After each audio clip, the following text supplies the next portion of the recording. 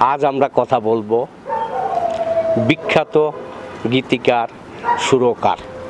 যিনি একাধারে প্রায় পাঁচ হাজার গান লিখেছেন, যার গান করেছেন নবাগত এবং সিনিয়র সব শিল্পীরা।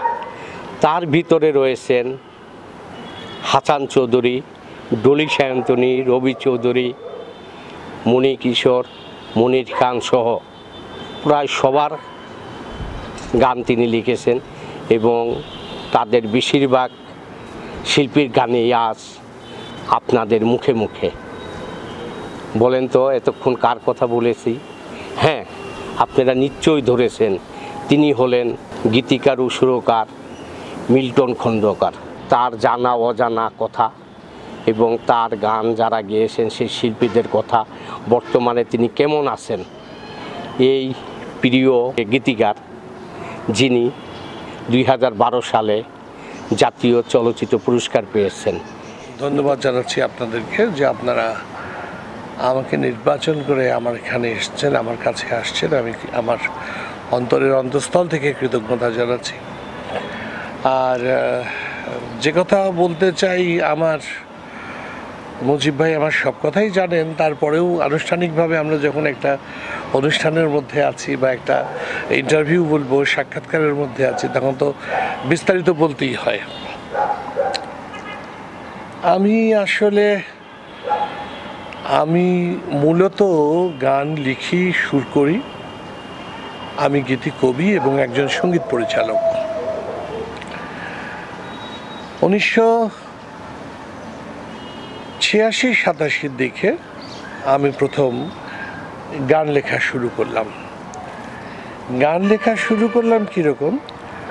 যে গান যে আমি লিখতে জানি, সেটাই তো আসলে জানতাম না। তবে একটা কিছু হওয়ার পেছনে একটা কোনো না কোনো একটা সূত্র থাকে, একটা ক্লু থাকে। আমি যখন আমার দেশের বাড়ি কুষ্টিয়া, আমার জন্মস্থান কুষ্টিয়া আমি কুষ্টিয়াতে আমার ইমিডিয়েট বড় ভাই, উনি কাউন্সিলর ইলেকশনে দাঁড়াতেন এবং উনি ভোটে দাঁড়ালে আমাকে প্রচার প্রচারণার কাজ করতে হতো।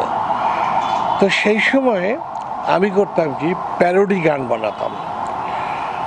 প্রচার প্রচারণামূলক আমার ভাইকে নিয়ে, উদ্দীপনামূলক আমি গান বানাতাম।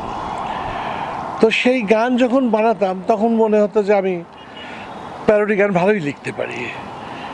উনিশশো সাতাশি, অষ্টাশির দিকে এসে আমার কেন জানি মনে হলো যে আমি যদি প্যারোডি গান লিখতে পারি, তাহলে একটু ভালো কথার গান কেন নয়? আমি লিখতে পারব না কেন? তখন চেষ্টা করলাম। এন টাইমে হাসান চৌধুরী ওনার সঙ্গে আমার দেখা ওনার সঙ্গে পরিচয় হয়। উনিও গান গাইবার জন্য শুধু রাজশাহী থেকে এসেছেন, আমি চিন্তা করলাম তাহলে হাসান ভাই আর আমি দুজন মিলে একটু বসি একদিন। যাই হোক, আমরা হারমোনিয়াম নিয়ে বসলাম। হাসান ভাই তবলা নিয়ে বসলেন, উনি গানের পাশাপাশি তবলাও বাজান চমৎকার। উনি তবলা নিয়ে বসলেন, আমি হারমোনিয়াম নিয়ে বসলাম। এক্সপেরিমেন্টালি আমরা আসলে একটা গান বানালাম। তো গান বানানোর পর অ্যাকচুয়ালি আমি বোঝার চেষ্টা করছিলাম যে হাসান ভাই কী বলেন। যখন দেখলাম যে হাসান ভাই বলার আগেই হাসান ভাইয়ের চোখে মুখে খুশি ঝরছে, তখন আমার মন বলল যে আমরা বোধহয় একটু সাকসেস আমি অন্তত সাকসেসের দিকে যাচ্ছি। তখন হাসান ভাই আমাকে বললেন, মিল্টন ভাই, খুব সুন্দর হয়েছে, আপনি আর একটা গান বানান। এই যে আমরা শুরু করলাম, সেই অ্যালবামটা আমাদের রিলিজ হলো অষ্টআশি বন্যার মধ্যে। অষ্টআশি বন্যার মধ্যে রিলিজ হলো সেই অ্যালবামটি তখন বন্যার সময় কিন্তু তখন অতটা বোঝা যায়নি অ্যালবামের অবস্থান। কিন্তু যখন বন্যা পরবর্তী সময়ে বছর দেড়েক পর বোঝা গেল যে না, আমরা গান বোধহয় ভালোই করেছি এবং শ্রোতা দর্শক আমাদেরকে নিচ্ছেন, আমরা জয় লাভ করেছি আর কি। এই যে আমরা শুরু করলাম এরপর আর আমাকে পিছন ফিরে দাগাতে হয়নি মজিবে আমরা এগিয়ে গেছি একেবারে। আপনি একটু আপনার জাতীয় চলচ্চিত্র পুরস্কার দু হাজার বারো সালে পেয়েছেন ওইটা কোন গানের জন্য একটু যদি বলতেন শ্রোতাদের? ওইটা পেয়েছি আমরা খোদার পরে মা ছবিতে। আমার একটা বিখ্যাত গান আছে আপনারা হয়তো শুনেছেন এবং আমার মনে হয় যে বাংলাদেশের মানুষেরা বেশিরভাগই গানটা শুনেছেন সেটা হলো যে মা তুমি আমার আগে যেও না গো মোড়ে। আমি কেমন করে দেব মাটি তোমার কবরে? এটা পলাশ গিয়েছিল। এই গানটিতে পলাশও জাতীয় পুরস্কার পেয়েছে, আমিও জাতীয় জাতীয় পুরস্কার পেয়েছি গীতিকার হিসেবে। আপনারা একটা বিখ্যাত গানে আছে, যেটা ডলি শান্তনি গেয়েছে এবং আরও একটি বিখ্যাত গান অঞ্জনাকে নিয়ে, যেটা মনির খান গেয়েছে। এই দুজন শিল্পীর সাথে সম্পর্কে একটু কিছু যদি বলেন। আমি আজকে একটি কথা খুব অহংকার করেই বলতে চাই, সেটা হলো যে আমি, আপনারা হয়তো জানবেন বিষয়টা, আপনারাই বেশি জানবেন, কারণ আমরা দীর্ঘ সময় আপনাদের সঙ্গে কাটিয়েছি, আপনারাও আমাদের সাথে থেকেছেন।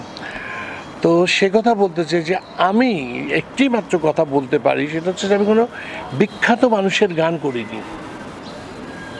আমি সব সময় নতুনদের গান করেছি নতুনরা বিখ্যাত হয়েছে, পরবর্তীতে তাদের গান করেছি, কিন্তু আমি কোনো বিখ্যাত শিল্পীর গান করিনি। একেবারেই করিনি তা নয়, পরবর্তীতে দু চারজনের গান করেছি, তারাও অনেক বড় বড় দিকপাল ওনাদের গান করেছে, কিন্তু মূলত গান করেছি আমি নতুনদের।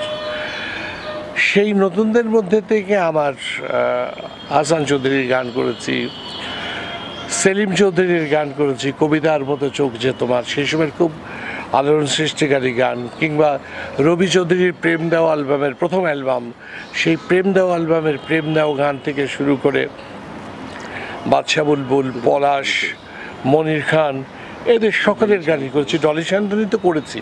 ডলি শান্তনীর যেমন, ডলি শান্তনীর প্রথম অ্যালবামের নাম ছিল হে যুবক। এই হে যুবক অ্যালবামে চোদ্দোটা গান ছিল। এই চোদ্দোটা গানই আমি লিখেছি, আমি সুর করেছি এবং সবচেয়ে মজার কথা চোদ্দোটা গানই হিট তার ভিতরে একটি গানের কথা সবার আগে বলতেই চাই সেটা হচ্ছে রংচটা জিন্সের প্যান্ট পরা জ্বলন্ত সিগারেট ঠোঁটে ধরা এই গানটি। আপনার কাছে একটু আরও জানতে চাবো সম্প্রতি আমাদের শ্রদ্ধেয় সংগীত পরিচালক আলম খান মারা গেছেন। তাকে নিয়ে একটু স্মৃতিচারণ করবেন। অ্যাকচুয়ালি বিষয়টা খুবই দুঃখজনক আমার জন্যে আর কি। আমি চিন্তা করছিলাম যে আমি আলম ভাইকে একটা ফোন দিব। তখন চিন্তা করলাম, ঠিক আছে, আজকে আর না দিই। আমি আগামীকাল ঈদ, আমি ঈদের দিন ফোনটা দিব। আমি যখন চিন্তাটা করেছি এগারোটা, সাড়ে এগারোটার দিকে, ঠিক তখনই নাকি উনি মারা গেছেন। এটা খুব একটা কাকতালীয় ব্যাপার। আর সবচেয়ে বড় কথা হচ্ছে যে আজকে মিল্টন খন্দকার হিসেবে যেটুকু নামধাম, যেটুকু পরিচয় গীতিকার, সুরকার হিসেবে, তার সিংহভাগ কৃতিত্ব আলম খান সাহেবের। আমি অ্যাকচুয়ালি ওনার স্টুডেন্ট উনি আমার গুরু, আমি ওনার পাঠশালার ছাত্র। উনি এক, ওনার জন্ম না হলে আজকে মিল্টন খন্দকারের জন্ম হতো কিনা গীতিকার হিসেবে আমি ভাবতে পারি না।